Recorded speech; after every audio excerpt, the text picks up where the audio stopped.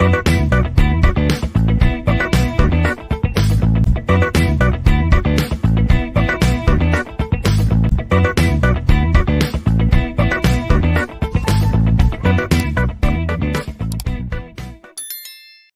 student, welcome to the one more video session of uh, microcontroller and embedded systems. In this uh, session, I am going to start fourth module of 18CS44 syllabus. That is the characteristics and quality attributes of the embedded system. So, if you take any embedded system or any system in general or any non-embedded system, there will be a set of uh, characteristics that will going to describe the system that will going to define the system those things are called as characteristics of the system but there are also some non-functional as aspects so those non-functional aspects are called as quality attributes so non-functional aspects are called as quality attributes. Functional aspects are called as characteristics of the system. Both are important when you design a embedded system. That means when you design embedded system, the design should take into the consideration of both functional and uh, non-functional aspects. So what do you mean by functional aspects? That is the characteristics of the system that define the, describe the system so that describe the system. Then non-functional aspects are the quality attributes. For example, uh, so if you take a motorcycle, if you take, sorry, if you take a bicycle, so a bicycle basically provides transportation service. Like I can say the characteristics of this one is it will provide transportation service. Instead of bicycle, if I consider a bike, it also provides transportation service. So both are the characteristics of that uh, bike and bicycle. Now if you consider the quality of that both service, then a bicycle can go 15 kilometer per hour, but motorcycle can go, I mean a motorbike can go 80 kilometers per hour. So, service offered by the system is related to the behavior of the system. So, non-functional aspects are related to the behavior of the system. So, quality attributes describes the behavior of the systems than the characteristics. Characteristics defines what type of service offered by the system and quality attribute describes the behavior of the systems. So when you design an embedded system, you need to consider both functional as well as non-functional aspects. Now, the now we'll see the characteristics of an embedded system. So embedded system possesses certain characteristics. All those characteristics are unique to the embedded system or it is uh, unique to each embedded system based on the domain or applications. So some important characteristics of the embedded systems are application and domain specific. Second one is reactive and real time. Third one is operate, operates in harsh environments. Like not all embedded system, but uh, like some of the embedded systems are operate in a safe and a good environment or good condition. But uh, some of the embedded system operates in harsh environments. Fourth one is the distributed. This is the one of the important characteristics of an embedded system. Sixth, fifth one is small size and small weight. And sixth one is the power concerns. All these are the important characteristics or what you call functional uh, aspects of the embedded system.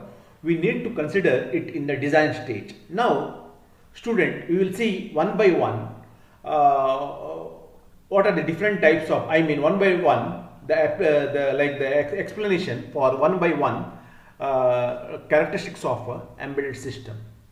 The first one is uh, application and domain specific.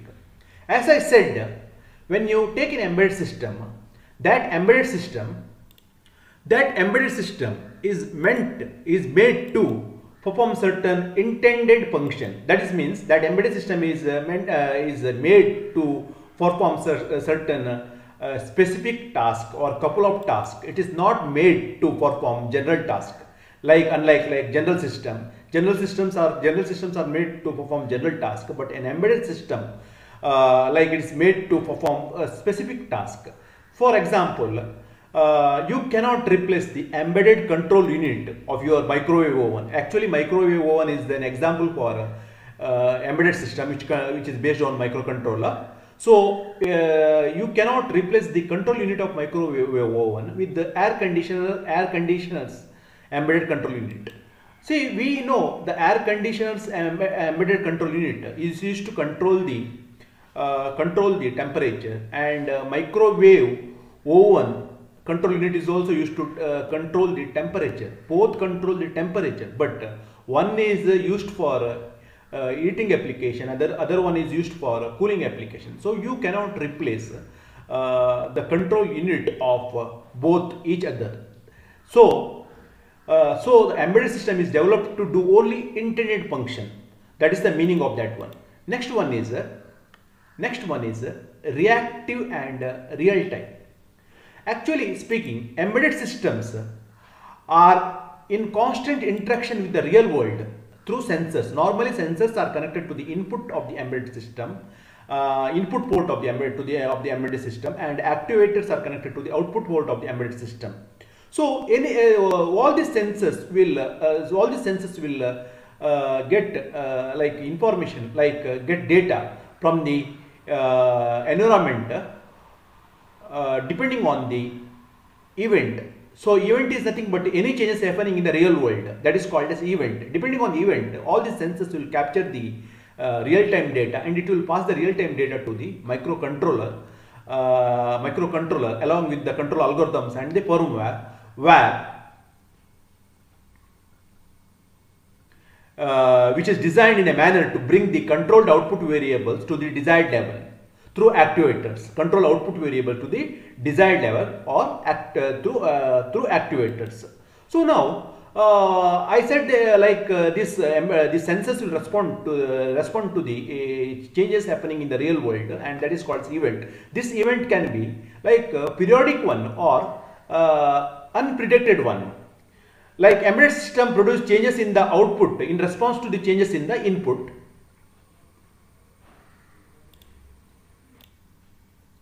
changes in the input is referred as a reactive system.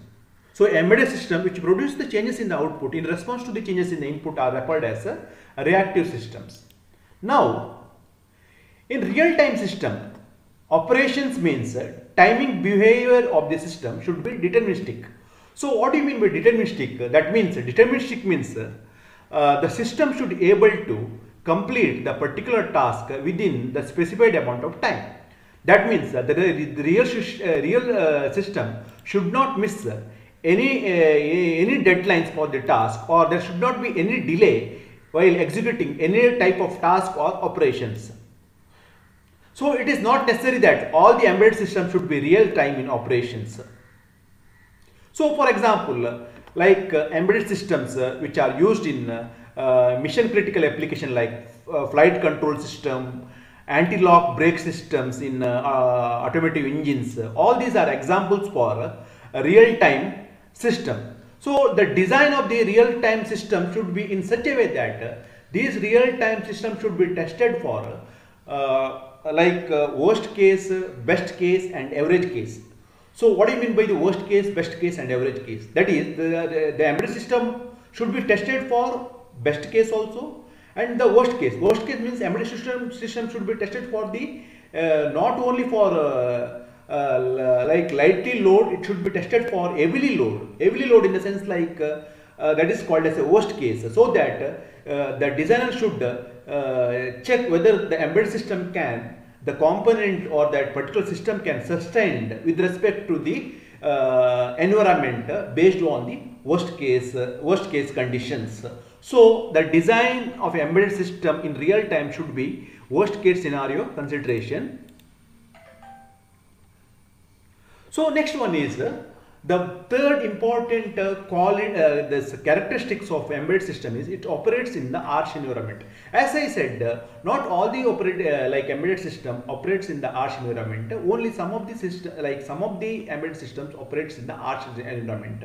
But uh, uh, most of the embedded system operates in the safe and uh, good condition environment. Now, what do you mean by harsh environment? Harsh environment in the sense like uh, the embedded systems are deployed in dusty environment or high temperature zone or it uh, the embedded system may be deployed in uh, certain area subject to vibration and sho- shock. So, system placed in such area should be capable to withstand all the adverse operating condition. For example, the, if the system deployed in high temperature zone, then all the component inside the system should be high temperature grade. That means uh, all the component used in the system should be temperature uh, like withstand, should be temperature withstand. So now and one more thing is like uh, here we cannot go for a compromise in cost. So when you select the component for critical uh, real-time critical systems, then you should not go for a compr- compromise in cost. Then uh, power supply and uh, we should also check the uh, check the conditions for power supply fluctu- fluctuations uh, and uh, component aging. All these things should be considered into like considered in while designing the particular embedded system. Next one is distributed. Like the term distributed means that embedded system may be the part of larger system. So many number of uh, distributed embedded system form the single large embedded system. For example, like uh, for example, like we use automatic vending machine. We use automatic vending machine is the example for this one. Is the example for distributed embedded system. The vending machine contains a card reader. We know the function of the card reader. Then uh, vending unit. So both these are combined. Both these are actually independent unit, but they but they work together to achieve overall function of the vending machine. So now we'll go to the other example. Like another example is like automatic teller machine ATM. So ATM is a ATM contains a card reader, which is an embedded system. Other than that, uh, uh, the main function of this card reader is to authorize the or validate the uh, users of the ATM card. Then uh, then it contains transaction unit for performing the transaction. That is also embedded system. Then it contains currency counter for dis- dispatching the uh, currency to the authorized person, and it also contains printer unit for printing the transaction details. So, so totally ATM is made up of uh, so many different types of embedded systems. like uh, it is a it is like like distributed uh, uh, distributed type of system where all the distributed systems are gathered together to achieve the particular task. Another type of uh, typical example of a distributed embedded system is a supervisory control and data acquisition SCADA system used in control and instrumentation application which contains physically distributed individual embedded control unit and it is connected to supervisory module. These are the different example of uh, embedded uh, distributed embedded systems. Next one is uh, small size and weight. See, this is one of the important characteristics of uh, embedded system. While designing itself, uh, uh, we need to consider as a designer need to consider this uh, this one because people believe believe in uh, praise like small is beautiful and small is uh, like less weight, something like this. So, embedded domain also compactness is a in embedded domain. Compactness is a uh, like significant deciding factor. For example, when you buy a mobile phone, you may make comparative study on the pros and cons, uh, uh, uh, advantage and disadvantage of the product available in the market. Definitely, the product uh, like product size, weight, shape, style, etc., will be one of the deciding factor. So, most of the application demands small size and low weight products. So, these things need to be considered. Next one is the power concerns. Power management is the another factor in the design of the embedded system. So embedded systems are designed in such a way that to minimize the heat uh, dissipation by the system. The production of the high amount of heat demands cooling re- requirement. Cooling requirement in the sense like you need to adopt uh, uh, or adopt extra cooling fans which in turn occupies additional space and make the system bulky. So, so it is necessary to while designing stage itself, it's necessary to consider the ultra low power components uh, that need to be used in the design stage so that it will consume it will consume less power.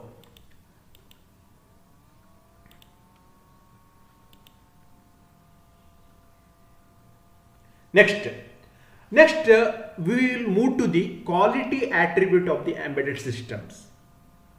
So I told you characteristics defines the type of service provided by the embedded system and quality attribute which is also called as non-functional attribute which gives about the behavior of the embedded system how the embedded systems will behave. Uh, the, that is that is provided by the quality attribute that is provided by the quality attribute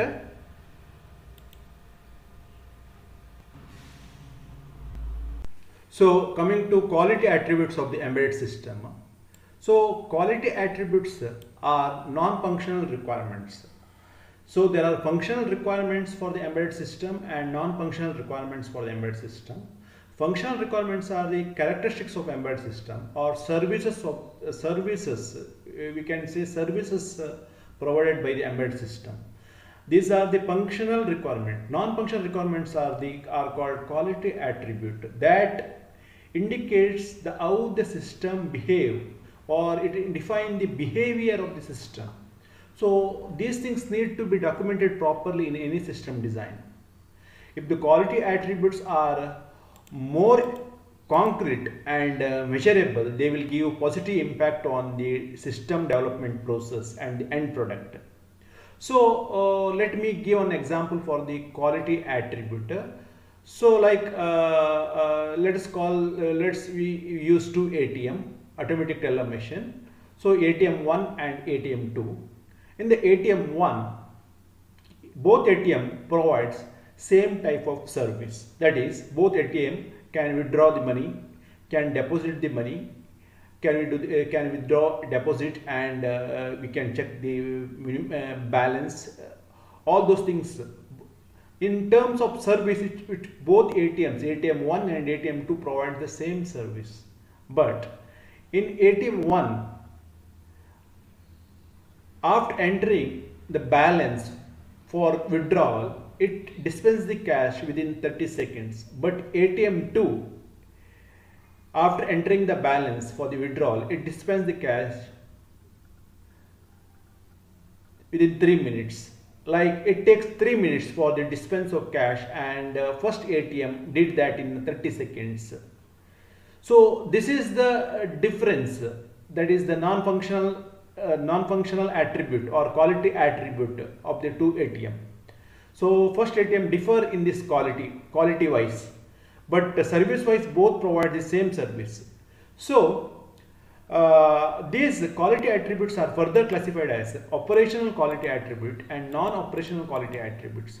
Operational quality attributes uh, are the attributes which is measured when the uh, embedded systems are in working condition or online and non-operational quality attributes are measured when the system is under testing or development mode.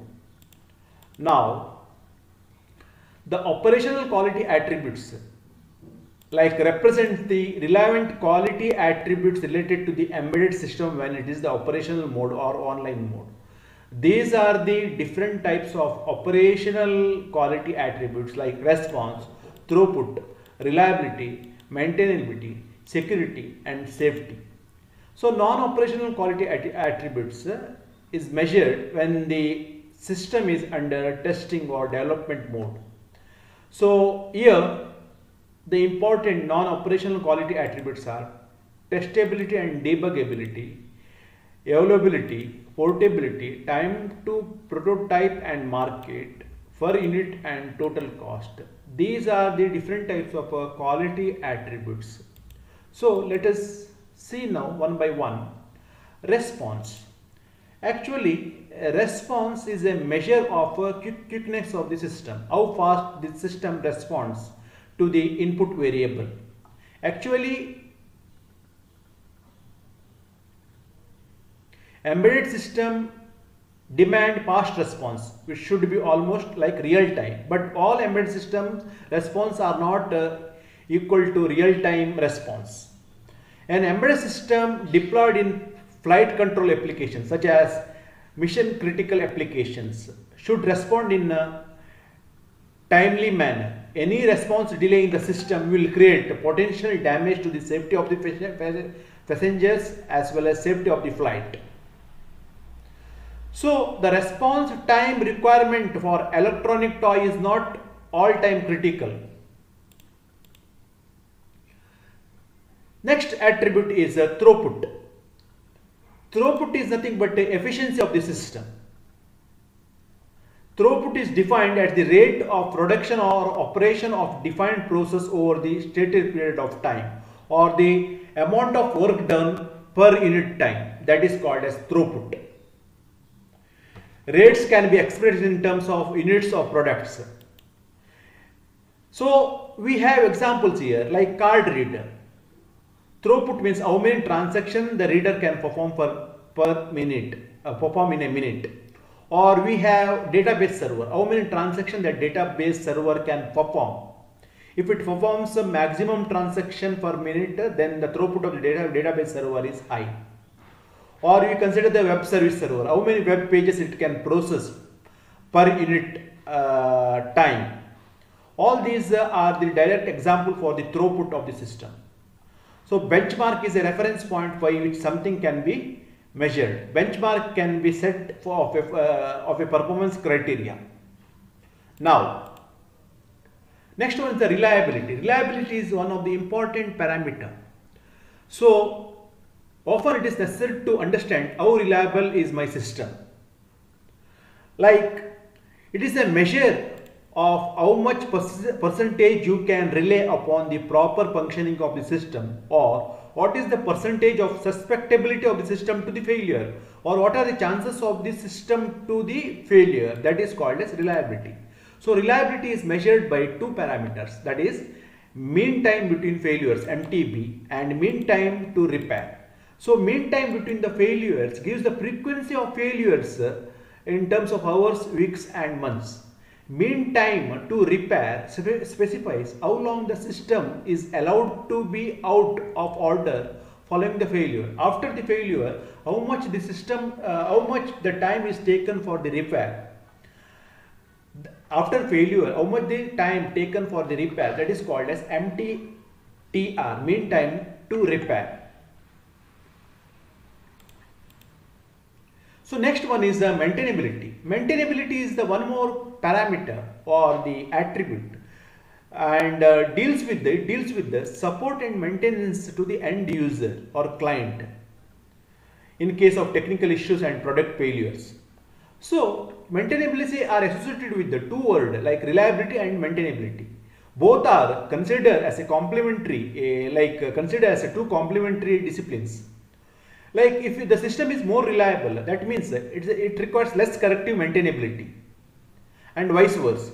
As the reliability of the system increases, uh, there is a chance of failures and non-functioning uh, uh non-functioning reduces. So maintainability is closely related to the system availability. So system availability is depends on uh, periodic maintenance that is preventive maintenance and maintenance to the un unexpected failures. There are two things. One is periodic maintenance. Second one is maintenance to the unexpected failures. Now you take a printer. Printer is a typical example for uh, like uh, illustrating two types of maintainability. Like print printer contains uh, like if you take the inkjet printer it, which uses ink cartridge which are consumable uh, this uh, components as per the uh, guidelines of the manufacturer of the printer like the end user should replace the cartridge after certain number of uh, printouts to get the good quality printouts. This is example for scheduled or periodic maintenance. Second one is the paper printing part of the printer fails. Then the printer fails to print and it requires immediate repairs. That is the exam. That is the. This is an example of maintenance to unexpected failure. So there are two types of uh, this one, uh, periodic maintenance and unexpected maintenance. So both maintenance, either it is scheduled or repair, the printer needs to be brought offline and during that time printer is not available. So we need to consider one more factor here that is availability. So we need to express availability. So availability is expressed like MTBF divided by MTBF plus MTTR, where MTBF is the mean time between failure and mean time to repair. So, so by this uh, we decide uh, like the availability factor. So availability factor is very important here. Next one is the security. Security aspects covers the confidentiality, integrity and availability. So what do you mean by confidentiality? Like confidentiality deals with the protection of the data and application from unauthorized person. How to protect the data from the unauthorized person. Integrity means uh, protect, protection of data and uh, application from unauthorized modification. How to protect the data so that the data will not get modified from the unauthorized user like uh, if you if you uh, download certain software with virus then it is not like it is it is not having integrity. That means the uh, the software is modified uh, with the uh, modified that package is modified with the virus. So uh, that is called as integrity. And availability is like deals with the protection of data application from the unauthorized user, protection of data and application from the other unauthorized user. For example, if I have a server, if the server is not available because of uh, like because of certain type of attack, then it is then it is availability problem. So deals with the protection of data and application from the unauthorized user. So next one is the safety. Safety and security are the two confusing terms. Sometimes you feel both of them as a single attribute, but they represent two unique aspects. Safety deals with the possible damage that can happen to the operator or the public or environment due to the breakdown of the embedded system or emission of radioactive or hazards material from the embedded products. For example, in my previous video, I told you uh, I have uh, told about uh, pacemaker, which is the Uh, which uh, which normally used uh, to simulate the heartbeat uh, in cardiac patient. If that fails, then then that is a threat to the to the human life. Threat to the human life. threat to the human life. So all those comes under Safety. Safety deals with the possible damage that can happen to the operator, public, environment due to the breakdown of an embedded system or a, so breakdown of an embedded system. So, safety analysis is must in a product engineering to evaluate the anticipated damages and determine the best co course of action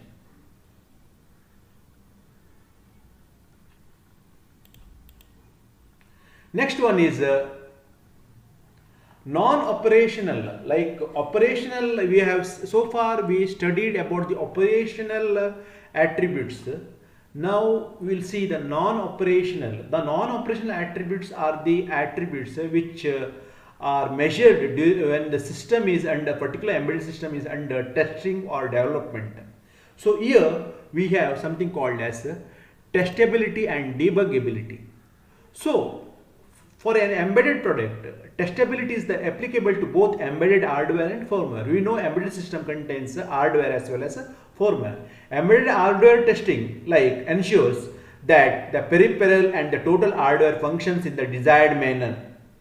Whereas firmware testing ensures the firmware function in the expected way. And debugability, debugability means debugging of the product uh, as such for uh, figuring out the problem the problem uh, figuring out the foretable uh, sorry probable sources that create unexpected behavior in the total system. So this is called a debugging ability. That means uh, debug of the that particular product uh, like and to find out under particular circumstance uh, how that uh, product works or what type of problem unexpected behavior it shows. All those are comes under debugging ability So debugging ability has uh, two aspects in embedded system. That is one is hardware level debugging and firmware level debugging. So hardware level debugging is used for figuring out the issues created by the hardware problem. Firmware level debugging is employed to figure out uh, like uh, uh probable errors that appears in the result of uh, uh, result of results of the flaws in the firmware. Like when you develop the particular firmware and when you adopt that firmware in the embedded system, because of uh, some, some type of uh, like uh, loopholes in the firmware or sometimes of bugs in the design of the firmware, it may give probable errors that is called as firmware errors. Next one is evolvability, the term which is closely related to biology. Like evolvability is referred as a non-heritable variations.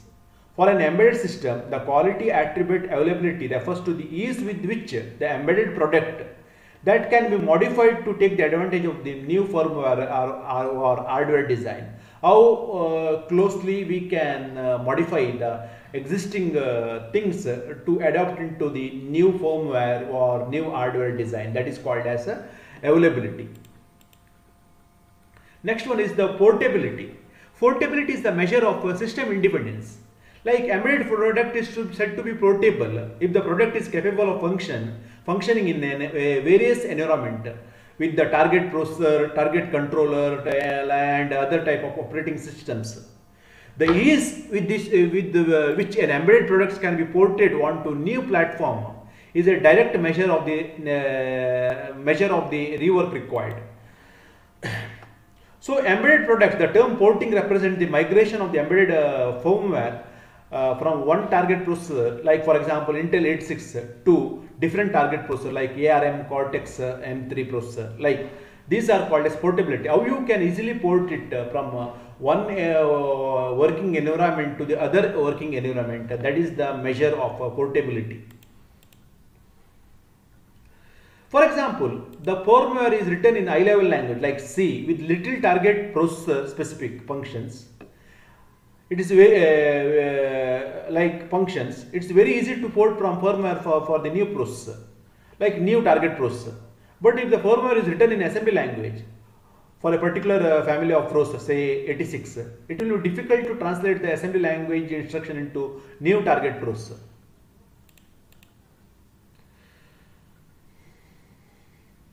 Next one is uh, time to prototype and market. So time the time elapsed between uh, uh, the uh, like the design of the product and the time at which the product is ready for selling. It is called as time to prototype and market. In commercial embedded for product like if you take commercial embedded product the market is highly competitive and the time to market product is the critical factor. This is because there are many multiple players in the embedded industry. Uh, uh, who develop products of the same category like uh, you see mobile phones uh, from uh, mobile phone from different vendors. If you come up with a new design and if it takes if it takes long time then to develop and market it then the competitor product may take the advantage of it with their product. So embedded technology is the one where rapid uh, technology changes is happening you know uh, like this is one area where rapid technology changes appearing. That's why the thing is like uh, you need to uh, reduce the time in design and uh, uh, design uh, prototype production and marketing of the product. So product prototyping helps a lot in redu reducing the time of market. Prototyping is an informal kind of rapid product development so time to prototype is another critical factor. If the prototype is developed faster, the actual estimated development time can be brought down in order to shorten the time to prototype. So next one is uh, per unit and total cost is uh, one of the factor closely monitored by both end user and the manufacturer. Cost is highly sensitive factor for commercial product especially, especially for embedded system. Any failure to position the cost of a commercial product at a nominal rate may lead to failure of the product in the market. So proper market study is required. Uh, from a designer product development uh, perspective, ultimate aim of the product is to generate marginal profit.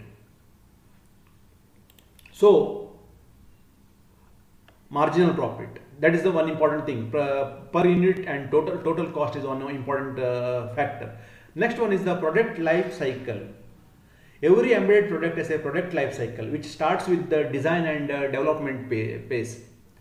uh, the product idea generation, prototyping, uh, roadmap definition, that is a roadmap definition and actual product design, development activities carried out during this phase. Like, uh, like uh, the product idea generation, pro, like uh, uh, prototyping, roadmap definition, all these things are carried out during the Uh, uh, product life cycle. During the design and development phase, there is only investment and no returns. When you design a new product and uh, design and development there is only investment and no return. Once the product is ready to sell and it is introduced in the market the st stage is known as a product introduction stage. So see here it is the product life cycle. It contains the, like a different stage. Like one is design and development phase second one is the product introduction stage third one is the growth phase so uh, uh, uh growth phase during the initial in the growth phase during the initial period, the sales and revenue will be low. There won't be like much competition and the product sales and revenue increases with the time. In the growth phase, the product grabs the high market share. You can see here.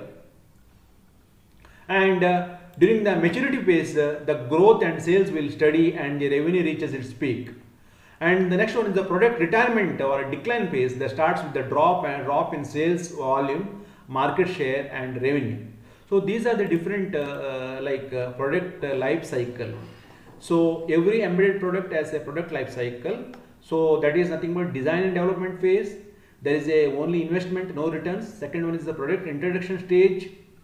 Third one is the during the initial period, like uh, this is the the uh, once the product is ready to sell, then it is called as product introduction stage.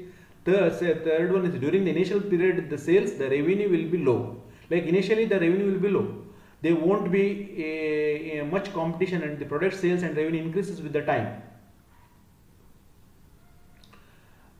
In the growth phase uh, growth phase the product grabs the high market share similarly we have maturity phase. The growth and sales will be steady and revenue is the peak. Next one the product uh, retirement and decline phase where it starts with the drop in the sales and volume of the market volume market share and revenue. So these are the different phases now you see uh, different uh, product life cycle phase like development, uh, product development, product introduction, then growth phase, then product maturity and product retirement.